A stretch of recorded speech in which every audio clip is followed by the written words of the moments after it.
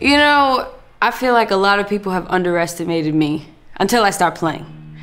but um, since I was young, like I really love the guitar. I love everything about the guitar, and, and this is my way of expression, and this is this is something I do. It's part of who I am. I think I go a hundred times harder because I've been underestimated. I feel like I, I, pull it out even more now because I'm like, this is part of me. This is what I do unapologetically, and I think it's pretty badass. Is it really even my fault? I don't think that it's supposed to be hard. If it's really meant to be, yeah.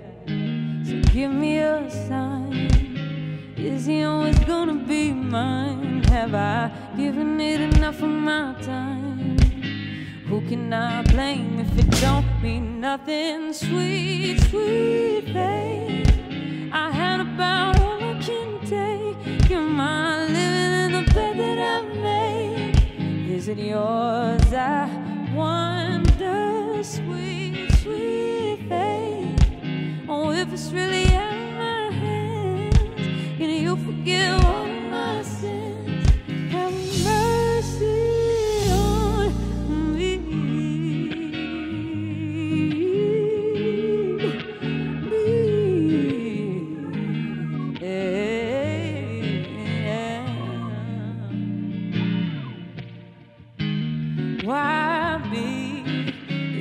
walked around using my feet, you would go a little easy on me.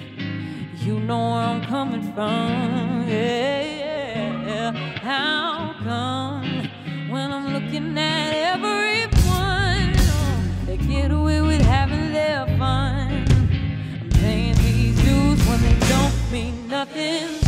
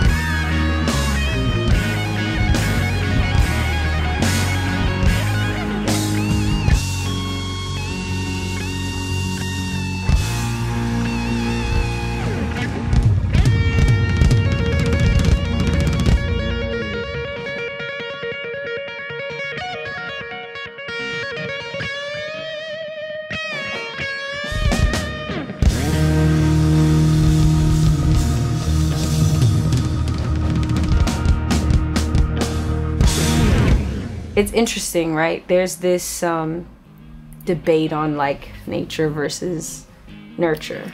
And, you know, was this destined for me or did I make this happen? Was was I able to, you know, create my destiny and create my fate? And it's that question that we all ask and, you know, is it yours? I wonder, sweet fate. You know, I've had about all I can take. Like sometimes you know when things are hard and when things don't seem like they're going the right direction you you have to just trust everything is going the way it's supposed to for you. What's for you is for you. And it's just that question i think we all ask what's for me?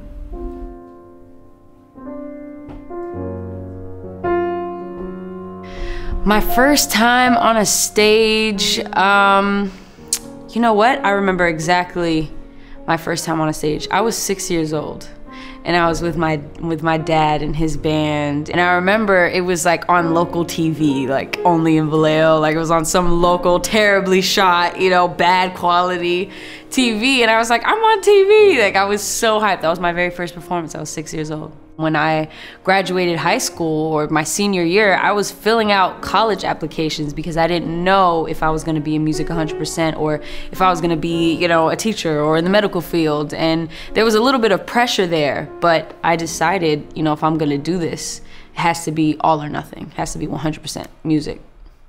I don't think I had early success. I think um, I think everything was in perfect timing. Um, you know, I've been signed to RCA since I was 14 years old, but I didn't release my project for five years, you know, almost six years. And, you know, my project being successful came from touring for two years and kind of the buzz going around. So it wasn't an overnight thing, it wasn't a quick thing. There was so much work that was put in that people didn't see. You know, my dad used to say something to me. He said, if you don't love it without the money and the success, you're not gonna love it with it. And I always keep that, you know, near and dear to my heart because it's so true. Um, because at the end of the day, I have no choice but to create. I have no choice but to pick up a guitar and sing, so you might as well go all the way with it. When you're mixing, you gotta use this one. But when you want to feel it, you gotta do this.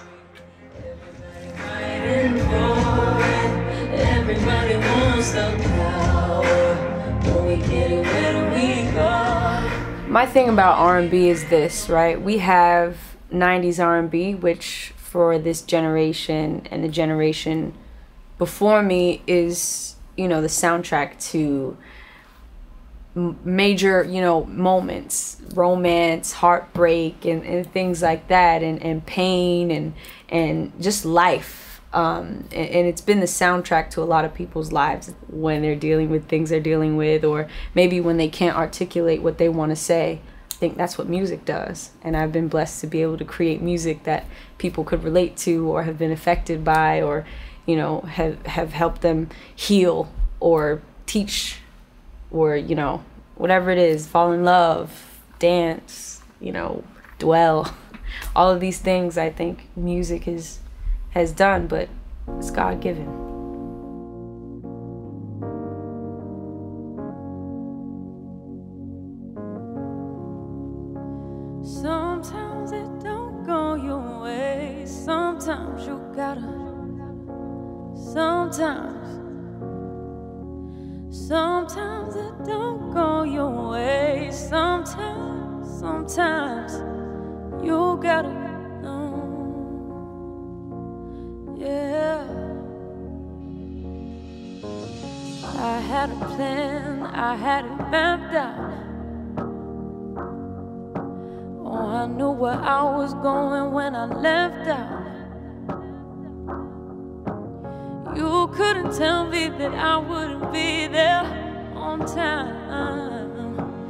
Cause I had some guarantees, I had a deadline. But now I know things change for better or worse. You could say that I'm the same, but I adjusted to all the hurt. So many no's, so many yeses. No one to blame, don't got the answers. I felt the pain, I can't attest it. Just the game, and I respect it, yeah. Cause sometimes it don't go your way. Sometimes, and sometimes you can't have those days, yeah. And sometimes you feel out of place. You can't promise me it'll be the same, no. Cause sometimes change.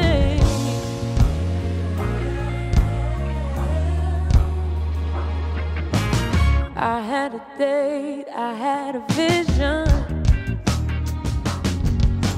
Oh, this was the day I was supposed to be living. Instead of worrying about the temporary things, I know I hate not knowing where it's gonna take me. So many no's, so many yeses. Oh, I was sure, but now I'm guessing. Feel like my faith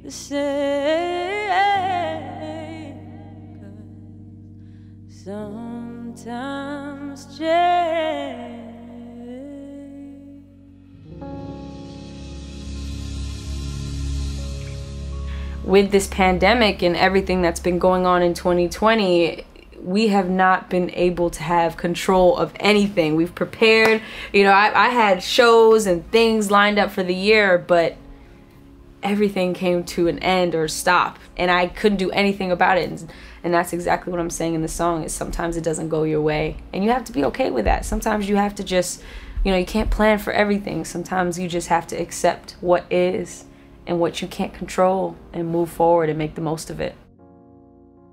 I've been playing with my band since I was like, I mean, we've known each other since I was 13 years old. You know, um, my MD I've known since I was like 11 years old. So, you know, they're like my my brothers, and we really jam out. And when it comes to creating, it's one of the most fun things for me. You know, when I'm in the studio, I miss being in rehearsal for a show, and when I'm rehearsing for a show, I miss being in the studio. Even just the arrangement to Glory, it, we came up with it, and I was we had something and it was it was really dope but it felt like it needed more. It needed to be more dynamic. It needed to be bigger. There's something about the dynamics of creating a show moment like a big moment where you know okay we want to layer this kick and you know i need the feel to be do do do ka ka ka you know like a crescendo i need the drums to have a crescendo i came up with that this line down you know and it just took it to a whole other place Glory, everybody fighting for it. Everybody wants the power. When we get it, where do we go? Always need a little more glory. Everybody fighting for it. Everybody wants the power. When we get it, where do we go? Always need a little more. Amazing. Everybody following the famous. We do anything to replace them, take it all. So I'm chasing, working every angle for the spotlight.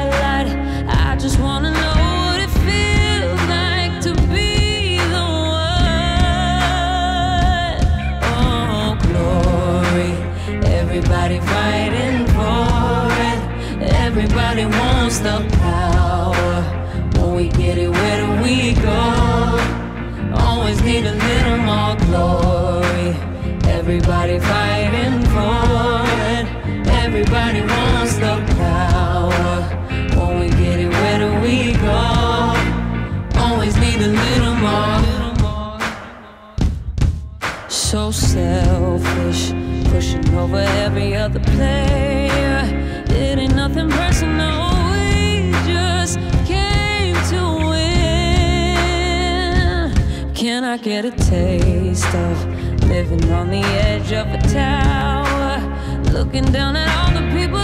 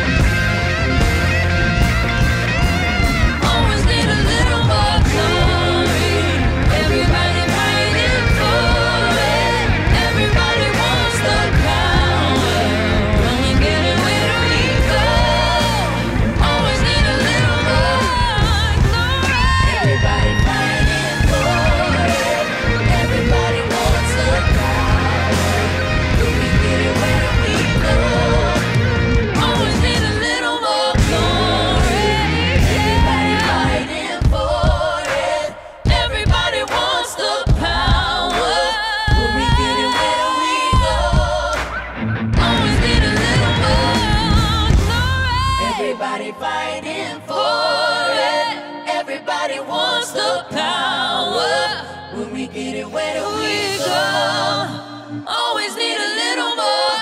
Glory actually was written in 2015, a while ago, and it's crazy how it relates to what's going on right now. And we have a lot of people in this world that are just looking for power and control, and they're just full of greed and hatred and, and are very, I think, selfish. And that's what this song is really about. It's like, we're so busy trying to chase something and own something and, and take and take and it's like i think it, it's time to be united and i think we are being united right now so it's crazy how this song applies to what's going on in the world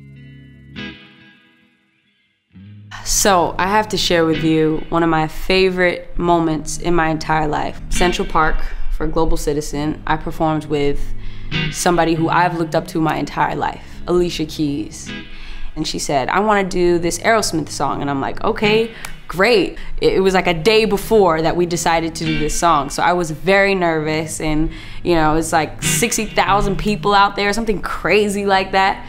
I kind of had played, you know, a scale or two. I, I played a few things like, I'm gonna do this, I'm gonna do this. As soon as I got on stage, all that went out the window. All of it, it was gone. And it was just the guitar and my fingers and whatever was happening in here. That's when I realized, okay, this guitar is, is a part of me, but it's there's a side of me that I have just unlocked. When the sins of my father. Way down in my soul, and the pain of my mother. Will not let me go. Well, I know they can't to find the purest of kids.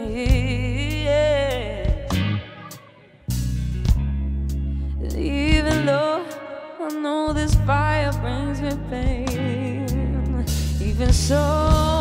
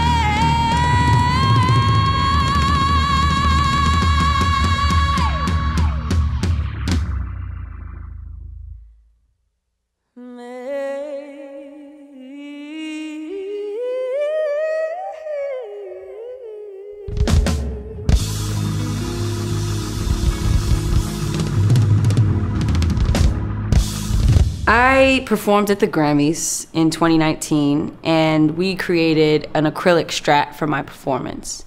And I'd noticed people would say, Oh my gosh, I want to touch it. You know, what is it made of? What does it feel like?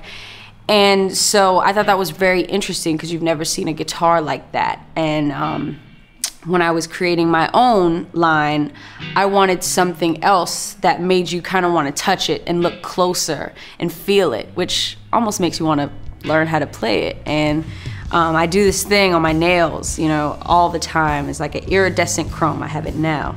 And I really wanted to copy that paint. I love how subtle but crazy and cool it is. It, it's like totally me. My style, my personal style, I like to call it tomboy chic. you know, um, I'm all about comfort and subtle flexes and standing out but being low key at the same time and, and mysterious, but I'm here, present. Even with my guitar, you know, I think it's it's a silent killer. You know, when I sing, it's one version of me, but when I come out from behind that mic with the guitar in my hands, it's a whole other thing, and you're like, wasn't expecting that. So I think with this guitar, people aren't expecting this kind of vibe, this kind of color, this shine, this iridescence, that in a certain light, you see a rainbow. Well, this is a dream come true, first of all, but this guitar is is so important to me, not just because, you know, I've always wanted to create my own guitar line, but it's the beginning of I think inspiring a generation of women to play guitar.